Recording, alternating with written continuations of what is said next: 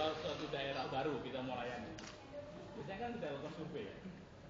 Survei kemudian kita bincang-bincang sama masyarakat, katanya petani ya.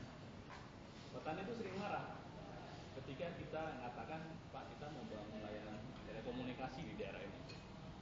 Marahnya itu gini, kelamaan.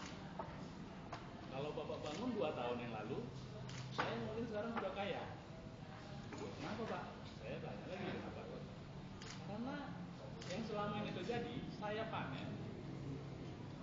Ketika ini saya bawa ke kota, ini harganya ambruk, anjlok.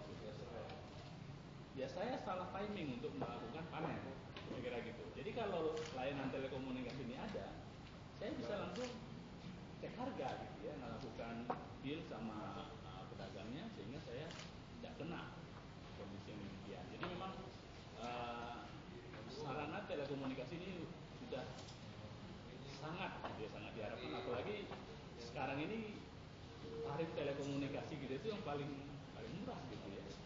Paling murah di dunia. Jadi memang ini situasi yang di tengah kompetisi yang sangat ketat itu juga kita harus survive.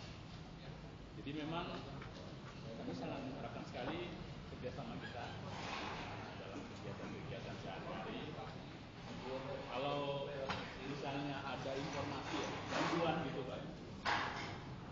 Kalau bisa kami berdua informasikan gitu pak.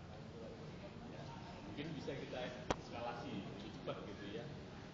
Uh, saya bisa dihubungi di nomor handphone 0811 33700 ya, kalau ada permasalahan ada trouble ada informasi dari masyarakat ya yang kemungkinan kalau kita bisa mensolusikan kami sangat senang sekali untuk menerimanya mudah-mudahan kali ini tidak lagi ke sini cepat kira mungkin itu yang bisa saya sampaikan saya ucapkan sekali lagi terima kasih semoga kerjasama kita semakin mantap Terima kasih Bang Parlim. Mungkin teman-teman ada yang ingin ditanya